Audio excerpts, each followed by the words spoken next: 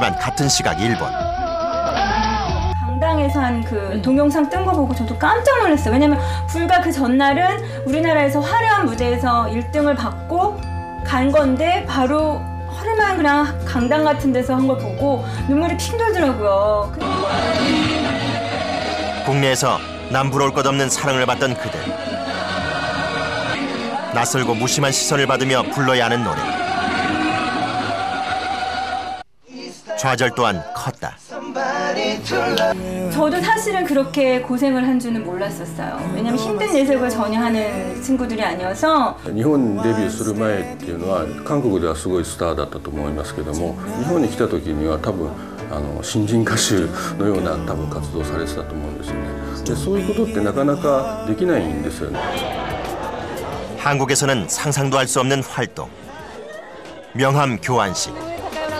さんさんあ 방송국 직접 홍보.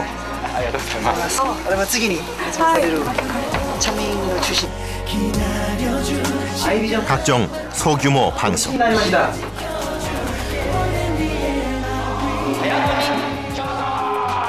엽기 버라이어티 출연까지.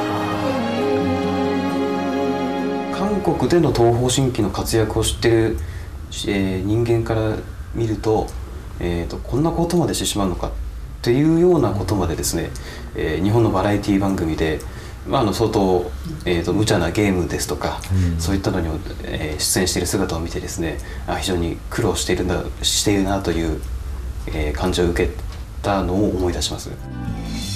하지만팬이원하고있었기에 슈퍼스타라는 감투도 자존심도 모두 접고 일본 팬들에게 다가간다. 지쳐 쓰러져도 좋아한다.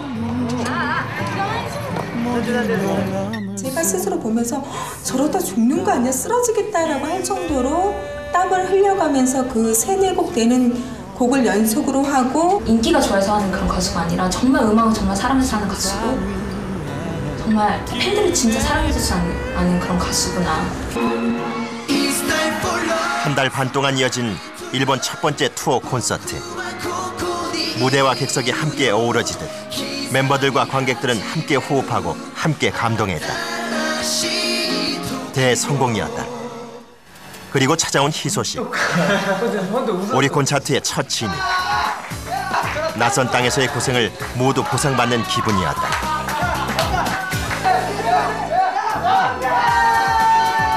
이후 동방신기의 앨범은 2008년부터 무려 8장의 앨범이 1위에 오른다.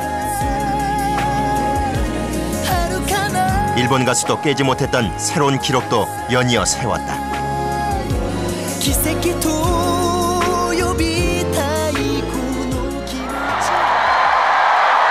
꿈의 도쿄도 양일간 이어진 콘서트엔 10만 관객을 위한 좌석과 입석이 모두 매진됐다.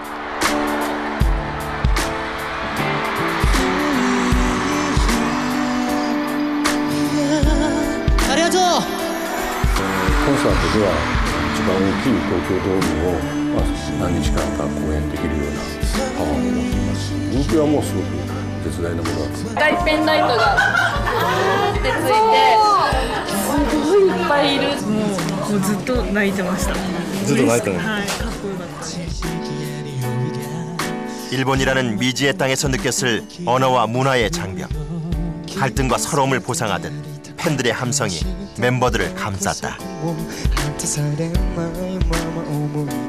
바다부터 시작을 했다고 본인들이 거의 또 자부심을 갖고 있으니까 또 말씀하신 대로 한류를 타고 가는 친구들이 아니잖아요. 거기서 본인들이 일어섰기 때문에 거기에 대한 자부심도 크고 그래서 오히려 더 실력적인 부분이나 아티스트적인 부분이 더 부각된 것 같기도 하고 그래서 더 자랑스러운 것 같아요. 첫 주에 무조건 싱글을 내면 무조건 1등을 하고 동방신기라고 하면은 되게 여전히 핫한 느낌이 있는 그래서 일본 팬들이 굉장히 좀 괜찮은 아이돌 그룹으로 생각하는 그 정도 위치로는 올라갔으니까 정말 그 우리나라의 일본 진출 역사로 봤을 때 이례적인 경우라고 할 수 있을 것 같아요.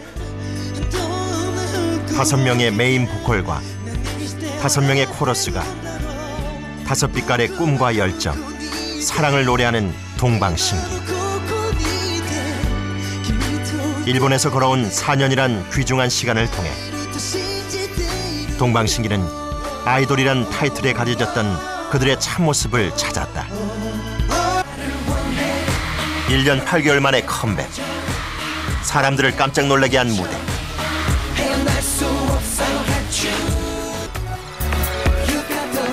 바닥부터 다시 다졌던 일본 활동 때문일까 그들은 몰라보게 달라져 있었다.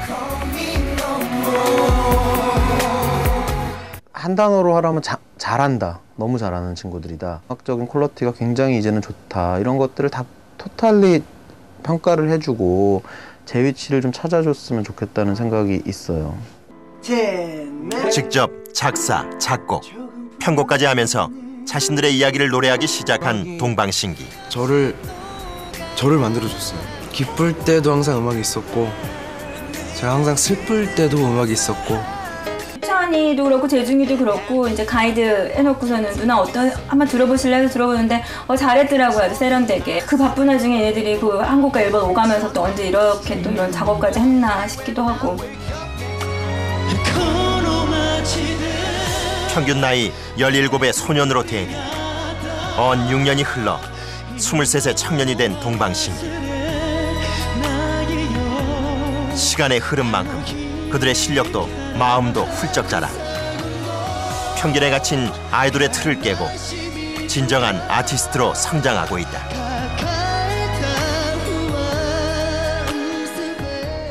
한마디로 짱이다.